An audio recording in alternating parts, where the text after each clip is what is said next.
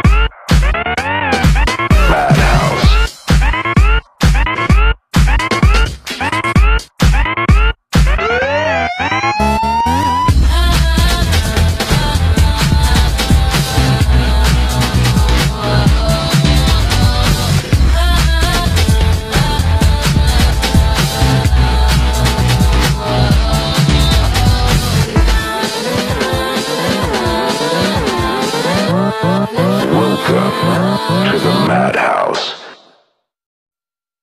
Ladies and gentlemen, to those among you who are easily frightened, we suggest you turn away now. To those of you who think they can take it, we say, welcome to the madhouse.